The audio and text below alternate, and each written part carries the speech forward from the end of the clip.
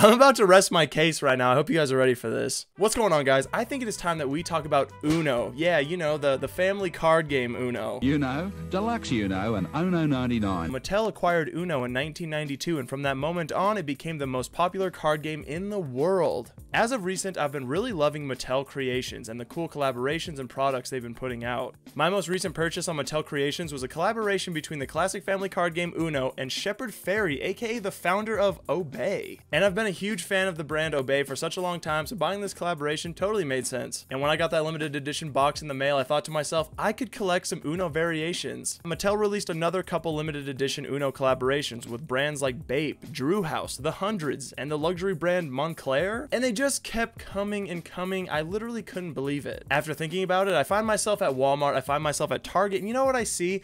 limited edition, different variations of Uno everywhere. If you go to your local Target or Walmart right now, I bet you can count at least 10 different versions of Uno just chilling on the shelves. And that's when I really thought to myself, how many different Uno versions are there? If I go down this rabbit hole of collecting, is it even possible and is it even worth it? So today, that is exactly what we're gonna look at. So I did some more research and I actually found a website called Uno Variations and of course, eBay my two main sources of information. Come to find out that in the 50 years Uno has been around, they've released around 507 different versions, variations, and spin-offs of the game. And after scrolling through all 507 different versions, arts, variations, spin-offs, I came to one conclusion collecting Uno would be absolutely an epic collection. Uno is literally so current on everything, and it seems like they've collaborated with every single event ever. Batman Begins 2005, Uno Edition. The Dark Knight 2008, Uno Edition. Batman v Superman 2015, it has an Uno Edition. In fact, there are six different Batman Uno variations. Even Cars has four different versions. Would you believe that over 100, one-fifth of all Uno variations are sports themed? Mattel dropped 12 Australian Football League editions in 2021 alone. Most Uno games have that very classic look, meant to be hung up in the toy section of your retail store,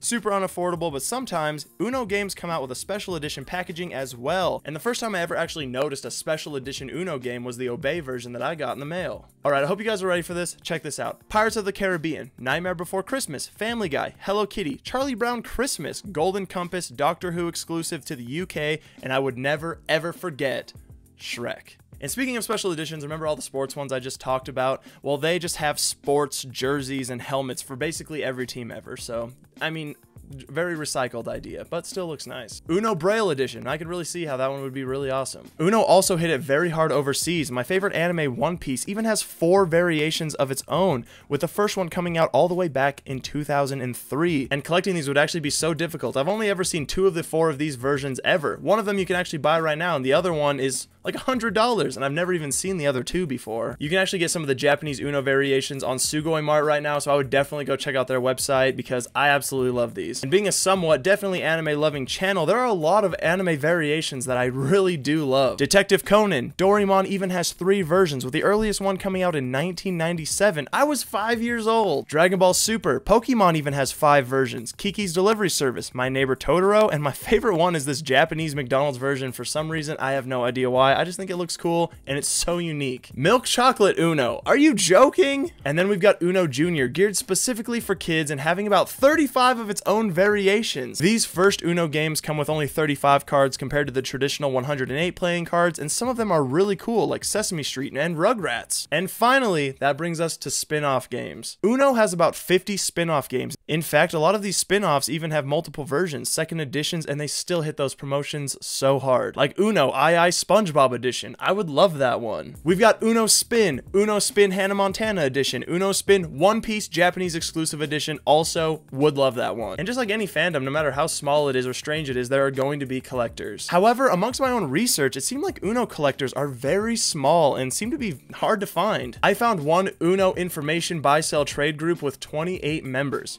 make that 29. And the biggest collectors that I find are David Moria from Mexico claiming that he has over 165 unique Uno variations, Andy Cohen and Becky Samuel, two cousins sharing an Uno collection with over 215 unique versions. And finally said to have the biggest Uno collection are Jim and Wendy Kallenberger with over 327 unique versions.